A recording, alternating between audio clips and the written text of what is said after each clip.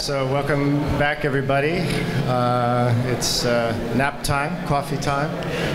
We'll try to keep you entertained. Um, immunotherapy. It's uh, all about helping the body to recognize or attack or not attack, down, down, uh, down, down regulate um, over uh, stimulation of the immune system. So it's really how, how can we facilitate um, the immune system to cure disease or treat disease. And we've got a couple of different approaches here um, with us on the stage. I think um, each each of the, the panelists will talk about some of their experiences, but we'll also talk about uh, the industry as a whole, and maybe that's one of the places uh, where we can start. Uh, but first, I want to introduce everybody. Um, Aram is uh, on the end there. He's the CEO of Noxxon. Um, he'll tell us a little bit more about Noxxon's approach and technology during during the panel. Um, Peter has um, founded and is CEO of, I say the name of the company so I don't mess it up, Ex- Ex- acCELLerate, um, and is uh, former CFO of Medigene, and also was involved in the turnaround of, of Wilex. Um, and Stephane Boissel, next to me, is uh, CEO of TxCell. Um, so, Peter, maybe you could start. Just give us a, a, little bit of background on where the industry is today. There's been a lot of excitement lately with the approval of the third checkpoint inhibitor from Roche, with PDL, PDL1. Um, and there's also been a lot of excitement about CAR T. Um, the valuations of those companies are absolutely astronomical. And if you look at some of the projections for the commercial potential, if you just take ALL, which is maybe one of the only places where there is real clinical proof of concept, it, it seems impossible that the valuations could be justified where we are today. Um, and there's not a lot of proof that we can actually get into solid tumors yet with, with these and other types of cancer with these technologies. But that's what would have to happen in order to make those valuations really uh, realistic. So, Peter, tell us a little bit about your experience in, in turning around Medigene, the financing, and the environment uh, today. Sure. Thanks, Chris, and good afternoon, everyone. Um, well, yes, uh, acCELLerate Partners, we focus on turning around business models which are a little bit difficult, and Medigene was certainly such a case when Medigene, three and a half years ago, with a market cap of 25 million euros, with a few products, unfinanceable at the time, managed to ride the hype of immunotherapy in acquiring a startup company um, with, let's be honest, 25,000 euros of cash on the balance sheet and 17 scientists and accumulated 150 years of immunotherapy experience. These guys were buzzing. Yeah? And so we acquired this company, and all of a sudden we were able to raise 65 million euros over two years and increase the market cap up to over 200 million euros not just because of that, obviously, but because we recreated the equity story. And um, I was also on the board of Immunocore, who, as you know, also raised $330 million, the largest private raise in for a biotech company in Europe based on immunotherapies. So um, my view on this is that the capital being provided for this technology is totally unwarranted and the initial valuations do not agree with the science provided. And I know the two here who uh, might not agree with me here, but certainly this is all based on hope. And if you look like a company like Juno and Kite, which didn't exist five years ago, they have a combined market value of $7 billion. And they have a few products in phase one and phase two. Guys, I don't get it, but perhaps someone else can explain that to me. Well, there's there is precedent for this. I think we've seen it before with genomics, and uh, maybe also in the gene therapy space. Uh, so, I think the excitement is really there. And, and as, as my boss said in, in 2000, when I was working at a hedge fund in New York focused on genomics, he said, the valuations today are where they should be in five to 10 years. And it was really the markets get ahead of themselves. So I think it's sort of normal, and it's been an opportunity for some companies to take advantage of that in terms of, of financing. What do you, what are you guys experiencing? Well, I, I have to say, not all companies. Uh, certain companies, and especially in the US, are uh, clearly. Uh, um, I mean, I clearly have a very rich valuation today. I think valuations are much more reasonable in Europe. Um, for, for, for, many different reasons. Uh, but uh, you also have to understand that uh, those technologies you are referring to, um, the, the CAR-T players, are probably, let's say, two years from marketing, and they will make a huge difference in, in cancer, for which today there is clearly an unmet medical need. I mean, if you've seen the, uh, the, the, data that were provided by, by, by UPenn and Novartis on, on their first trial in ALL, uh, patients recruited at this stage of the disease uh, will become you know, refractory to uh, any kind of treatment, chemotherapy, and so on and so forth, enter those trials with maybe a, a six months life expectancy, and two or three years after they were still alive, 90% of them. so that's, that's fantastic, you know, result probably never seen before, even with you know, immune checkpoint inhibitors, antibodies, you, you have not seen that kind of difference in terms of, uh, of response. So uh, Uh, yes, there is clearly a, a, a, hype today. There is clearly a rich valuation. But at the end of the day, if these guys can address uh, a few challenges that still remain, like manufacturing, like the kind of uh, you know pricing you could achieve for this kind of therapy, uh, that could that could become you know uh, in the next five to ten years as big as uh, what the antibody became over the last 15 years. I remind you that the antibodies 15 years ago, you were talking about rituximab and maybe a few others uh, in late stage clinical development. Now you are talking about a business which is worth billion and billion of dollars. So uh, yes, you, you, can question the valuation, but at the end of the day, again, if they can address uh, the challenge that they, they, they, they, have to address, uh, I, I, really believe it will be a, a huge uh, success for the benefit of the patient and for the benefit of the investors. Yeah, and, and and, and I think uh, to add to that, it's not just the, the, the T cell therapeutics um, some of the, the, the, more traditional medicines that target the tumor microenvironment. Um, uh, Pfizer recently released a study where they added uh, a tumor microenvironment modulator, a chemokine inhibitor, uh, on top of a standard pancreatic cancer therapy, and they had 97% of the patients uh, with tumor control. Most of them stable disease, but for that population, it's, it's pretty astounding. So I think all across the board, you you're seeing the first hints that properly used, um, these new therapies can have, have a dramatic impact in places where before it was just utterly desperate. I think that's, for me, the key difference between this period of hype and the ones that came before. Uh, we're still waiting for the, the results of the genomic bubble to appear in terms of the promises that were made at, during that period. So this is really um, a little bit different this time. It's not to say the valuations aren't a little yeah. bit over overextended. No, absolutely. And what, what gen the gentleman here said was absolutely correct. However, um, let's just envisage two scenarios. One is that the hope for the future actually pulls through right? We get great data, and all of a sudden this works, as you pointed out, it doesn't yet, in solid tumors as well. Then it's all justified. So what happens if just one of these guys have a little bit of doubt, dubious data? What will happen then? I'm not saying it will be bad for all of biotech, but it won't help. Are you saying the dominoes will start to fall? Okay, let's let's look at some of the challenges that uh, that the industry has. I think. Um, you know, one of the things that we heard some discussion about this morning already with uh, gene therapy is, is also a problem here. Aram, maybe you have a different perspective because you're working uh, in, a slightly easier area, right, with the Spiegelmers.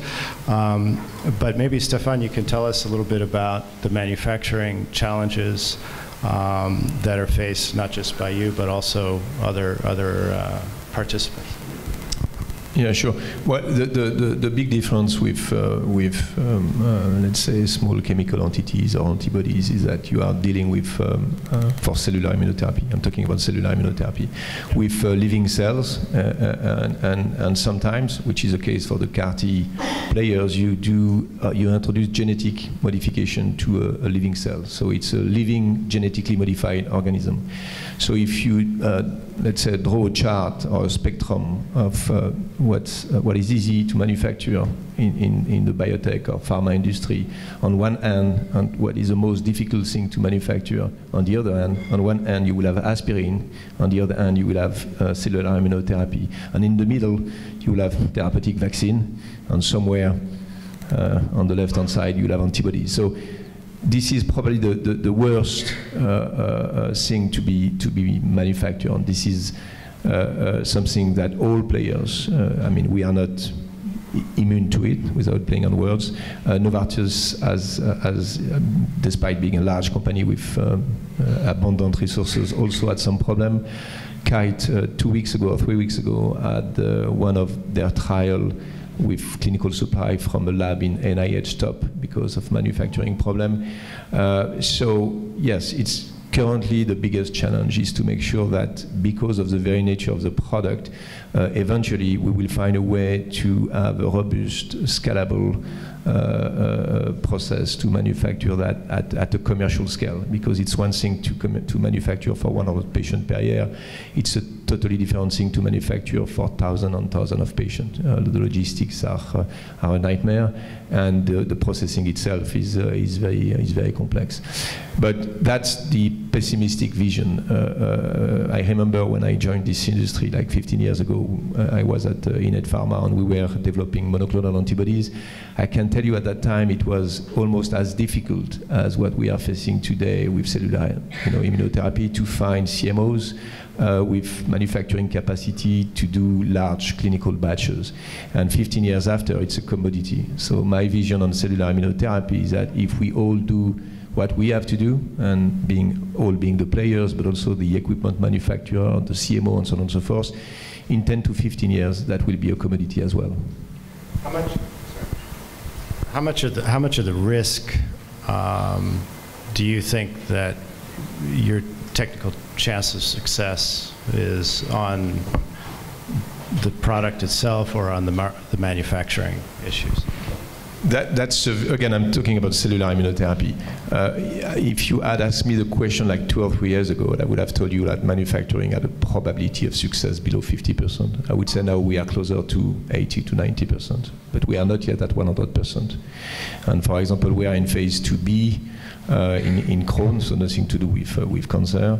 And uh, if you look at analyst report, uh, they assign a, a, higher probability of manufacturing success than a probability of clinical success, uh, which was, uh, again, not exactly the case two or three years ago.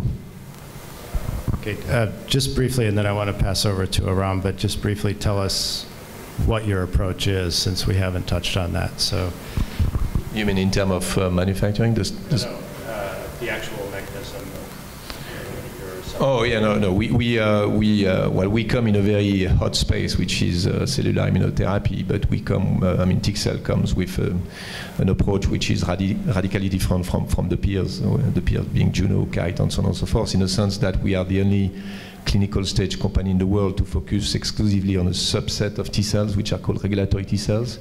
And those cells, they, they don't uh, stimulate the immune system. They, they do exactly the, the, the, um, the opposite. So we, very naturally, we don't use those cells to fight cancer or infectious disease because you need stimulate stimulation of the immune system to fight those diseases, but we use them to fight uh, autoimmunity and inflammation, i.e. disease where you need to calm down the, the immune system. And again, this approach is, uh, is unique.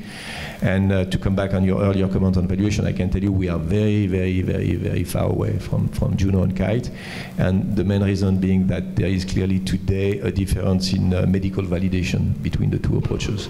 But being a first mover, we strongly believe that uh, if within the next two years we can score positive on, on the ongoing, uh, you know, randomized clinical trial that we are going to, to uh, conduct in Crohn, uh, maybe we won't reach that kind of evaluation, but at least we will come, we will come closer to, where, to, to where they are today compared to where we are today. Yeah, Aram, uh, it would be great to know a little bit about Spiegelmers. Are there any technical issues in terms of um, producing them, manufacturing them, uh, responses in the immune system, et cetera? I think on, on Stephane's uh, Yeah. scheme there, we're pretty far on the left. It's, it's essentially oligosynthesis on a big scale. Um, so we actually have multiple CMOs uh, that, that we can talk to that are ready to scale up. We just have to get them the mirror image building blocks. So I think we're, we're, in, a, we're, in, a, we're in a different place. And in, in terms of um, the the approach that you're taking to um, maybe make the microenvironment uh, more accessible to other drugs that are in development, or can you tell us a little bit about what, what it is that you're trying to achieve with, with the mechanism? So, mm, so I think probably everyone's familiar with the checkpoint inhibitors now, the, the PD-1 or as you mentioned, uh, PD-L1 antibodies that are approved now, and they they attack the, the this this these these receptors that. Uh, are kind of a safety valve, if you will, for the immune system to shut down reactions that cancer is, of course, hijacked. So uh, the, the, the, sort of uh, explan routine explanation is you, if, you, if you use these antibodies, you take the brakes off of the immune system, to use a, the analogy of a car. Um, it, it's, it's of course much more complicated than that being biology. You've got many other things that other factors. You've got things like IL-10 that will control proliferation of T cells within tumors. You've got factors like IDO that can uh, enhance the the, um, the, the regulatory T cells uh, activity in tumors. So it probably is true that one one approach is not going to fit all of them. Uh, where we're looking is at is at the trafficking of, of some of the effector cells, uh, like the T cells. So the, the, the engineered T cells, which I think have have proved uh, uh that, that they they're, they have very high potential, um, but also important for the checkpoint inhibitors because if you can you can take the brakes off of a killer T cell that's going after the cancer, but if that that cancer, that T cell can't actually infiltrate into the tumor, it can't do its job. Um, so there was some pretty un, un, underappreciated work done in the early 2000s uh, by, by, a few different people um, looking at what's the reason for this. And it turns out that some of the chemokines that normally attract cells uh, have the opposite effect on killer T cells under the right conditions. So they can actually act as chemorepulsives. So they, they push these killer T cells out of uh, out of the solid tumors, effectively acting like a wall. Um, so our uh, our approach is to try and break down that wall. Uh, we, we, as I mentioned earlier, we physically destroy these gradients when we give our drug. And so the hope is that, uh, and when we've seen this with, uh, with preclinical work, that when we disrupt this wall, we'll increase the influx of, of the appropriate T cell populations and, and NK cell populations into tumors. Uh, and that may have an effect on its own, but when you couple that with agents like checkpoint inhibitors, and we, are very curious to look at things like CAR Ts and engin engineered NK cells as well. The hope is we can, we can dramatically increase their efficacy, and, and in some of the tumors where these approaches don't work, we hope we can make them effective. So you may you may be helping to bring some of the CAR T approaches out of only liquid uh, cancers into solid cancers. Exactly. It appears that, that the target we're going after for one of these CXCL12 is is, is one of the key exclusion factors for, for T cells in, in some of these solid tumors. Great. Okay, thanks. So um, maybe we could pass now to regulatory pathways um, and talk about how, uh, since none of these products are approved, uh, unlike an antibody uh, therapeutic, which is manufactured one antibody for everybody. Uh, often, um, these are autologous therapies, so the manufacturing is one drug per patient. um, so how does that work in terms of the approval process? And this is something that is unknown territory um, and uh, being pioneered right now. Obviously, the efficacy justifies that, or you know, tells us that this, there will be a solution for this. Um, but there, it's, it's pretty unclear. So I don't know if um, we could maybe have a summary of where we are right now and then what, what some of the challenges are. Do you want to start, Peter?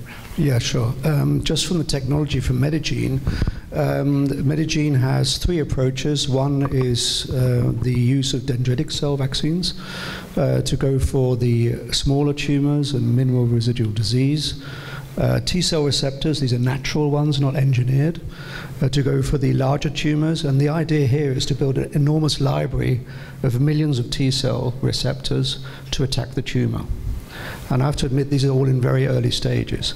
But to answer your question, um, the biggest challenge for any company is the cost of manufacturing.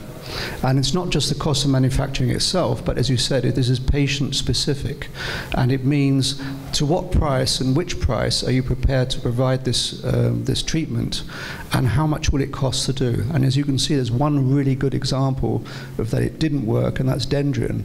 And Dendreon, I know, used a different technology, but they decided that they would set up their own distribution system. And I spoke to the, one of the manager of Dendreon a couple of months ago, and I said, listen, why didn't it work for Dendreon? He had such a great technology. And he said, look, we were spending more for FedEx than we were on actually producing the drug.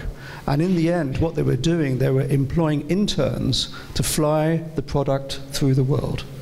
And that really is not the way to, to solve this issue.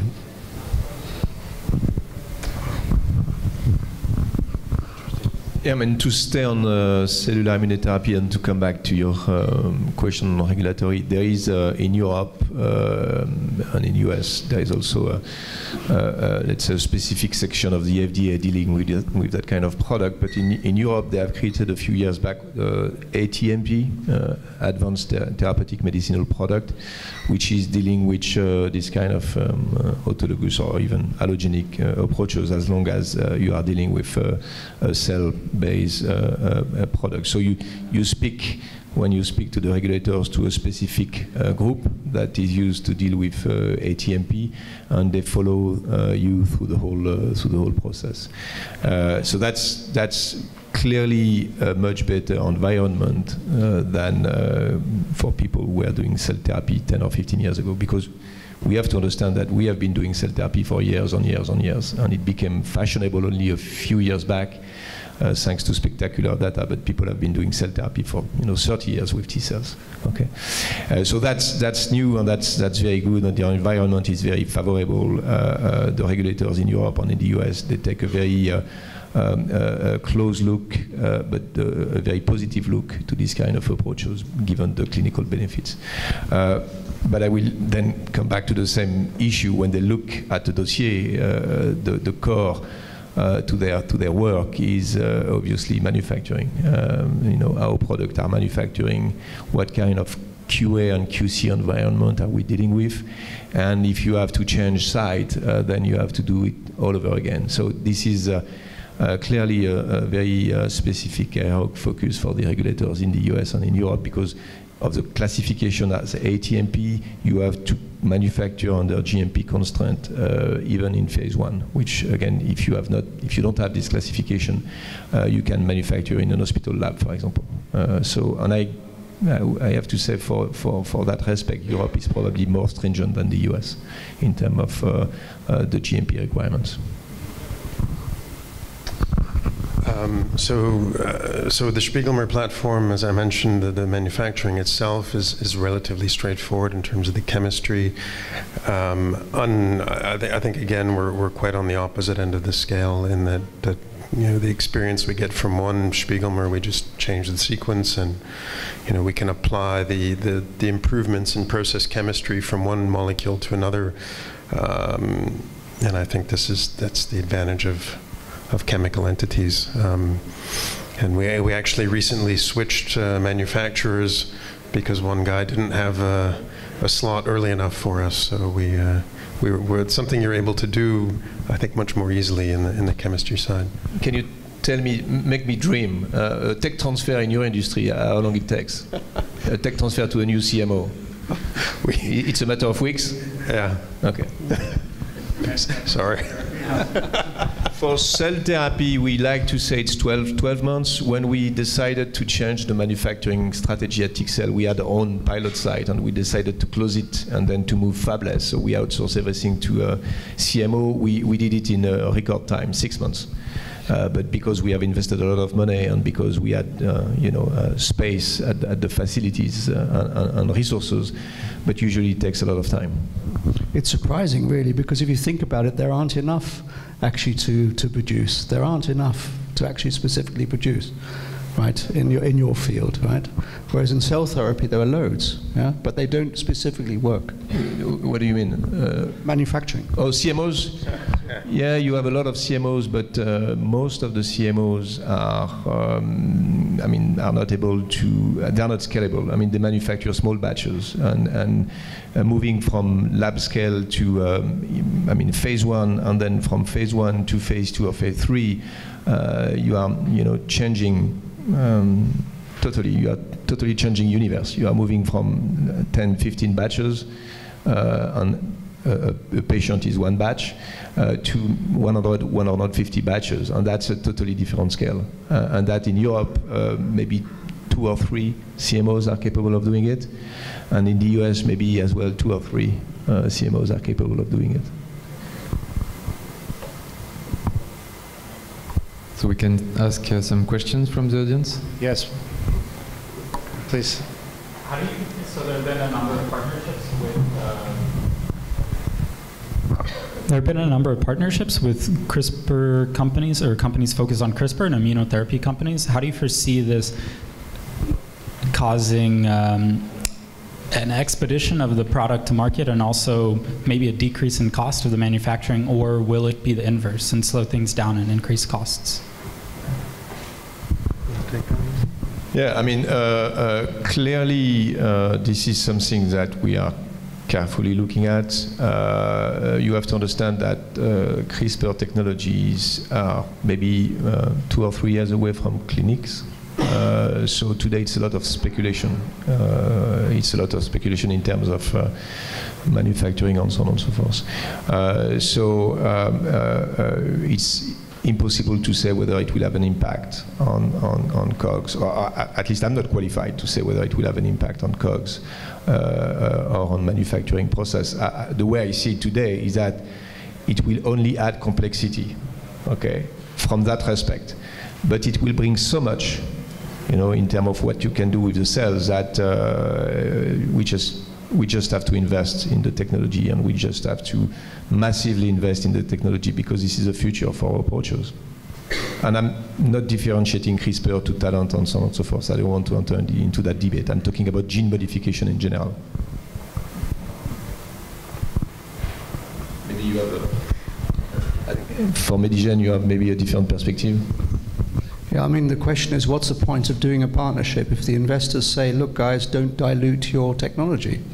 Right? I think that was one of the biggest things we realized in, in the financing rounds that the investors said, look, if you need money, just talk to us first before you go out and sell your silverware to a uh, deep pocketed larger company. And Immunocore is totally different because Immunocore needed these deals to fund the co development of the product.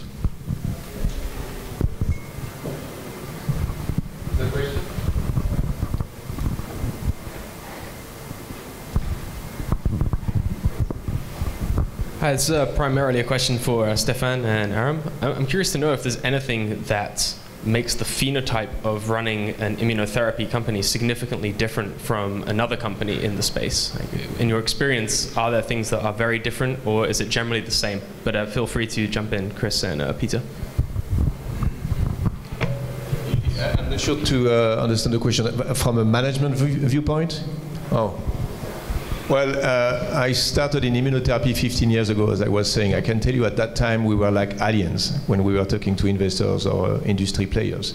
The good thing about running an immunotherapy company today is that people are listening to you, and, and people suddenly become very excited when you start to say CAR T, immune checkpoint inhibitors, immunotherapy, which again was not the case at that time. I mean, I listed the Innate on the Euronext in 2006. It was only the third biotech company listed in Paris at that time and we were talking immunotherapy. Uh, at that time, there was not a single immunotherapy product approved, and the first that got approved, or the first for which BMS started to generate some significant clinical efficacy data, was like five or six years after uh, Yervoy. So uh, again, today, today it's, it's not difficult to attract talent, it's not difficult to attract uh, uh, partners, and it's not uh, difficult to attract money when you have uh, when you are in immunotherapy, and of course, if your if your science and if your technology makes sense. Did I answer to your question? I mean, in, in, in fact, uh, uh, something I see a bit is if, if, I go out, and of course, we've, we've come from the platform perspective and, and moved more towards immunotherapy. It's, uh, it, it's almost viewed with a bit of cynicism by some investors, and they say, oh, God, not another immunotherapy company now. So, like it can it can cut it can cut both ways. I think.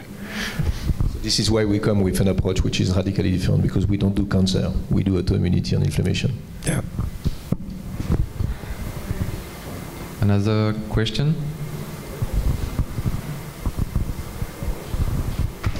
Uh, just looking in particular at the oncology field, if you're a young uh, startup and you have a novel small molecule or a novel toxin, is there any point starting? In 10, 20 years, what's the panel's view? Would it all be immunotherapy and the only treatments and cures available? Or is there still room for uh, alternatives? Um, perhaps I can answer that because uh, you, you, just said something which is really interesting. When you go and see investors, they say, "Oh my God, not another immunotherapy company," and they have started really to sift between the ones who are really innovative and the ones who are not, who just said, "Oh, uh, immunotherapies are a big boon. Let's." Join the hype and call ourselves immunotherapies as well. So, in the end, I think uh, there will always be room for innovative technology. It doesn't matter in which field or whatever. It's just the hype of this particular term, which we all hope will be the therapy of the future. And whether you are in cancer or, or in other disease, the, the, the, key for the future is combination. And, and um, I mean, you start to see active and passive immunotherapies being combined together. Uh, you start to see active immunotherapy, like therapeutic vaccines, being combined with chemo. Uh, so, I mean, it's not for tomorrow that there will be one single treatment that will cure cancer. You know, it will be a combination, and very importantly, it will be a combination specific or tailored for a patient. That, that's the future. Yeah, I'd, I'd, agree with that, and I think even even our approach, we're we're always combining with a cancer killing regimen, and so you need you, you need that if you're modulating the microenvironment you need something to damage the tumor cell. And I think one of the most, in fact, one of the most dramatic preclinical models we had was combining with radiotherapy. You know, which you, can, you know, is one of the most basic, uh, if you will, primitive ways to kill cells. Uh, but but here, when we we com- we treated uh, animals with radiotherapy and then blocked their access to the microenvironment, we saw tumors disappear. So, it you know. I, I can only second the view that you'll get, you know, you, it's going to be a long time before uh, we say yeah, we can throw everything out in the trash uh, except immunotherapy. At the end of the day, a good product is a good product, right? So I think that's really the question to ask. So it's, uh, it's always good to take advantage if you have some way of being part of a trend because, as, as we said at the beginning, there's more capital available to companies that can check that box immunotherapy. Right? That's true, yeah. yeah. Because in particular, I met an investor last week and he said um, they're, they're slimming down in the immunotherapy field because they've put all their eggs in that basket and they're trying to make sure that they're, they're de risking their portfolio.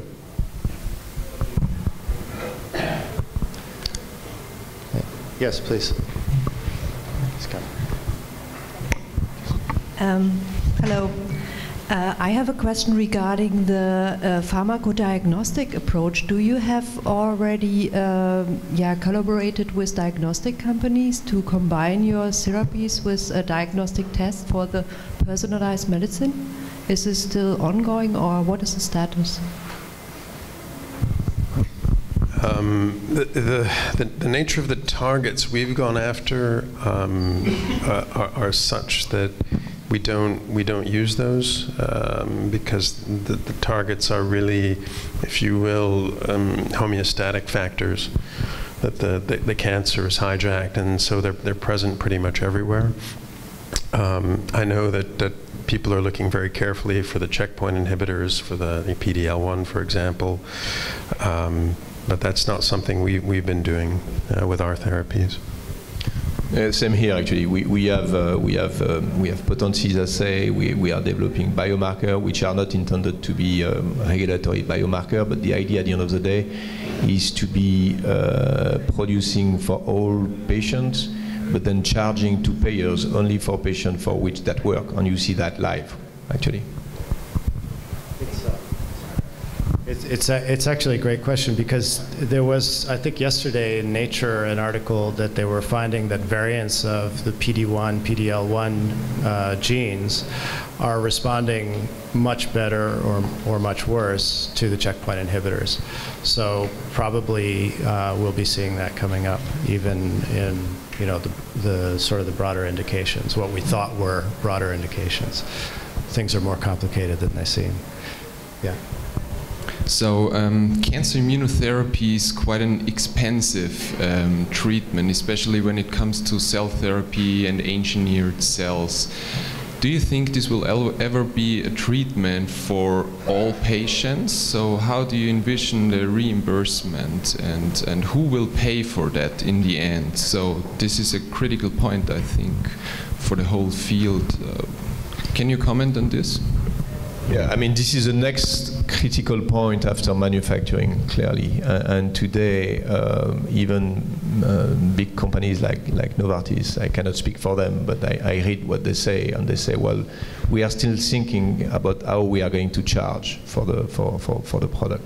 And it's not only a question of pricing. Uh, there is this whole debate of uh, whether this is a product or a service, for example. You know, whether you should charge on an annual basis uh, or on a vial basis, and so on and so forth. So uh, there is still a lot of questions. Uh, some of them will be answered within the next two or three years for cellular immuno, uh, immunotherapy. Uh, but uh, today, um, there is not a single answer. I think it's a great question, but it opens up a whole new barrage of new questions, as you quite rightly said. And that is the regulatory pathway, that is not just the manufacturing, but most important, the treatment how will the patient be treated, treated in future? Because this opens up a whole new area of treatment mechanisms. And, and I think the question can't be answered at this moment in time. Everybody hopes that the manufacturing and the production will be so inexpensive because there'll be new economies of scale with this industry that it can be reimbursed. But I don't think it's an issue that anyone can answer right now. Yeah, and it's not just a question for the, the cell-based therapies, uh, because when, when you start seeing some of the, the innovative uh, patent-protected drugs for cancer, they're charging, you know, 10,000 euros a, a month. Uh, so when you know that you're going to start combining drugs, uh, and in combining, the patient's going to get a longer benefit, then not, not only do you, do you multiply the amount per month, you increase the number of months or years under, that they're under therapy. So, yeah, it's pretty clear that from the cost point of view, it's going to be extremely difficult for the healthcare systems to absorb that. Um, and they're, they're going to have, to think about different models like service uh, and, and you know, maybe bundle pricing for combinations. I mean, there's a whole there's a whole range of different options, um, but it's it's it's a it's a vexing problem that I think uh, it's fair to say we, we don't have a clear answer to today. So thank you very much. Uh, time is up.